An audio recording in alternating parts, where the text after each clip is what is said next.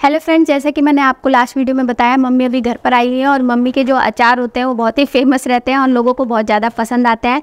तो अभी चल रहा है गोभी का सीज़न तो मैंने सोचा क्यों ना मम्मी से रेसिपी ले ली जाए गोभी के अचार बनाने की। मम्मी का जो गोभी का अचार होता है, बहुत ही ज़्यादा यम्मी होता है। तो आज मम्मी आपको बताएँगे कि गोभी का अचार घर पर बहुत ही आसानी से बिना धूप के भी आप बना सकते हैं और मिनटों में बनकर तैयार हो जाता है। तो कैसे बनता है, मैंने प्रोसेस पूरा पहले भी देखा हुआ है मम्मी का।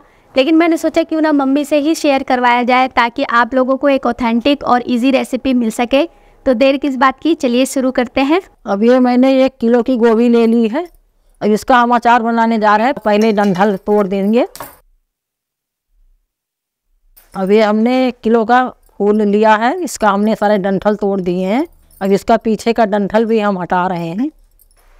सीखे का डंठल हटा दिया। अब इस, इसको हम छोटे छोटे पीसों में काटेंगे।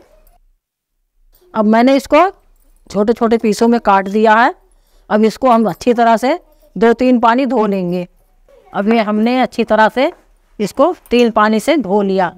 अब ये बिल्कुल साफ़ हो गए अब इसको हम बॉयल करेंगे और हल्का बॉयल करके ज़्यादा मतलब इसको गलाना भी नहीं है। अब हमने ये पानी इसमें ले लिया है कढ़ाई में। अब ये थोड़ा गर्म हो जाएगा पानी, तब उसमें हम गोभी डाल देंगे। जिससे वो गोभी इसमें डूब जाए उतना पानी डालना चाहिए। और इसमें हम एक चम्मच ये हल्दी डाल दिया। दे एक चम्मच नमक डाल दिए। हल्दी और नमक दोनों मिला दिया। मिला के फिर इसको हम गोभी को बराबर कर दिया इसमें, जिससे उबल जाए अच्छी तरह से। अब इसको हमने ये ढक दिया है। अब इसमें बॉयल आ गया, उबल गया ये। अब इसमें ढक्कन हम हटा देते हैं। और गोभी को हम इसको पानी से फटाफट बाहर निकाल देते हैं। इसको हल्का ही पकाना होता है ताकि ये अचार सही रहेगा, फूटेगा नहीं और ये फूल फूल से बने रहेंगे। ज़्यादा पकने से टूट जाते हैं। जब हम इसको उबाल लेते हैं हल्का तो इसमें जो कीड़े मकोड़िया कोई भी गंदगी रहती है तो निकल जाता है। एकदम फ्रेश हो जाता है। इसको हमने पानी से निकाल लिया है। अब इसको हम धूप में या दो घंटे या तो धूप में या तो पंखे के नीचे में सुखाएँगे, जिससे जब इसका पानी मर जाता है तो ये ख़राब नहीं होता है। इसमें जो पानी रहेगा तो उसी से वो भी ख़राब होते हैं। अगर इसका पानी ये, इसमें पानी जैसे ये पानी में डाला था, ये पानी जब मर जाएगा, तब ये बिल्कुल ख़राब नहीं होगा। चाहे कितने दिन तक ये रखे रहें आप। अब ये गोभी हमने दो घंटे तक धूप में सुखा लिया है। अब इसका पानी बिल्कुल मर गया है। अब हम मसाले भून लेते हैं, ये मे, मेथी है, एक चम्मच हमने ले लिया। अब इसको हम भून रहे हैं। अब ये मेथी भुन गया है, अब हम इसको इसको हम उतार रहे हैं। अब इसमें हम एक चम्मच अजवाइन डाल रहे हैं। इस अजवाइन को हम ब्राउन करेंगे। अजवाइन भी हमने भून लिया ये। ऑफ़ हम डाल रहे हैं डेढ़ चम्मच।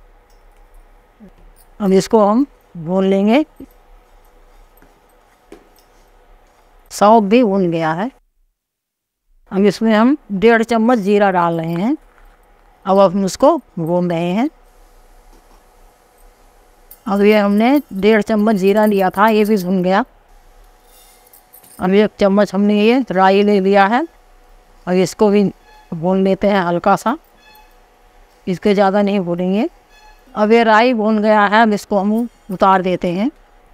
अब एक चम्मच हमने ये कलौजी ले लिया है अब इसको भी हम भून रहे हैं। अभी एक चम्मच हमने ये कलौजी लिया था, ये भी भुन गया है। अब हम इसको कटोरी में निकाल दे रहे हैं। अब इसको हमने अलग रखना है, इसको पीसना नहीं है। अभी हमने चार चम्मच धनिया ले लिया है, खड़ा धनिया। अब इसको हम भून लेते हैं। अभी हमारा धनिया भी भुन गया। अब हम इसको निकाल लेंगे। अब ये सारे मसाले हमने भून लिए हैं। अब इसको हल्का सा ठंडा करके फिर इसको हम मिक्सी में पीस लेंगे। और इसको हम बहुत ज़्यादा बारीक नहीं करेंगे, इसमें थोड़ा दरदरा ही रखेंगे, जिससे दरदरा रहता है तो इसमें टेस्ट ज़्यादा आता है। अब हम इसको इसमें जार में डाल रहे हैं पीसने के लिए। ये ऐसे ही दरदरा पीसना चाहिए, जिससे ये बढ़िया बने। अब हम इस गोभी को अब इस बोल में हम डाल दे रहे हैं। अब इसमें हम मसाला मिक्स करेंगे। ये कलौजी है जो इसको साबुत रखना था। तो इसको मैंने ये एक चम्मच कलौजी लिया था। अब इसको हम साबुत इसमें डाल रहे हैं। अब इसमें हमने ये आधा चम्मच हींग डाल दिया है। इसमें से हम दो चम्मच कश्मीरी लाल मिर्च डाल दे रहे हैं। अब हम इसमें ये दो चम्मच नमक डाल दे रहे हैं। स्वाद अनुसार जैसे जिसको जै कम खाना हो तो कम डाले, थोड़ा कम डाले।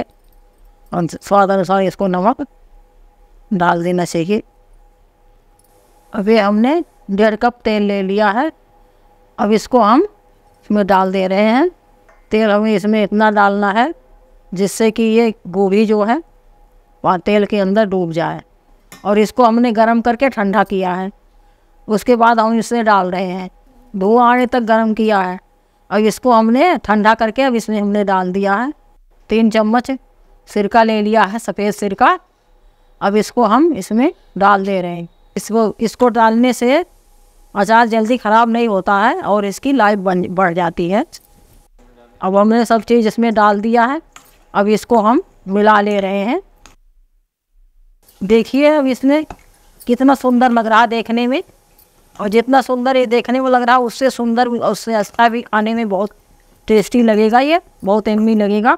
और इसमें कभी भी अगर निकालना चाहें तो सूखा चम्मच से ही और हाथ पहुँच करके हाथ धो के साफ़ हाथ से निकालें और साफ़ बर्तन में रखें इसको,